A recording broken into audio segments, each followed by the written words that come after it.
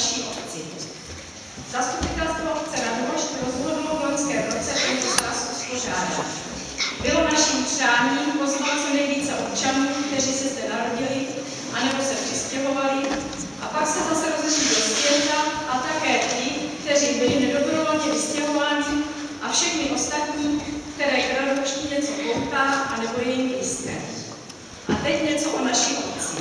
Obec Radhošť vznikla jako prastará slovanská osada, těsné blízkosti obchodní cesty spojující Čechy a Moravu, která se nazývala Krsteňská stezka.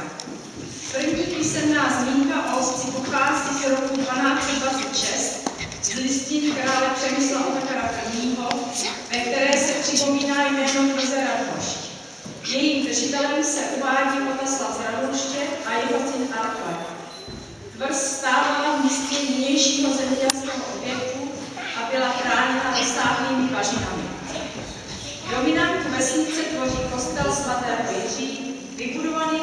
1772 až 1773, jež stojí v místě, kde byl uctíván Bůh Radegast.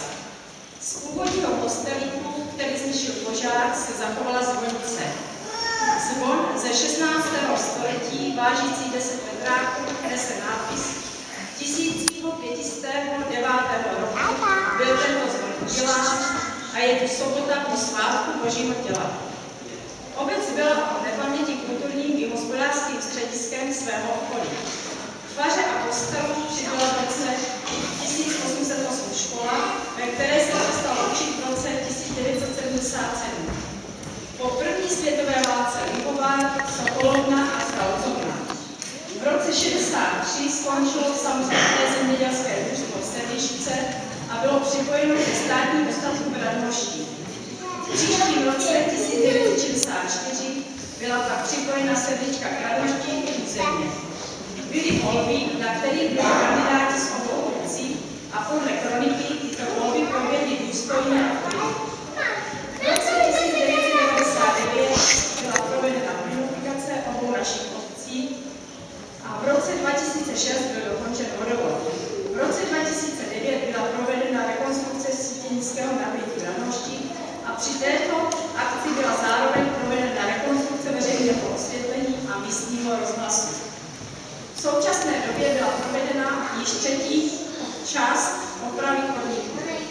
Obec Radbošť se v dnešní době řadí ke členům svazku obcí mikroregionu Suchovicka a dobrovolný svazek obcí Volická. Nyní bych ráda přečetla pozdravy od občanů, kteří se nemohou zúčastnit ze zdravotních důvodů a stále s námi jsou alespoň ve. A to od paní Ludmily Svobodové. Vážení sousedé a rodáci, děkuji za pozvání od chci vám všem popřát, aby se vám radosti líbilo. Dnes na vás všechny myslím a vzpomínám. Je mi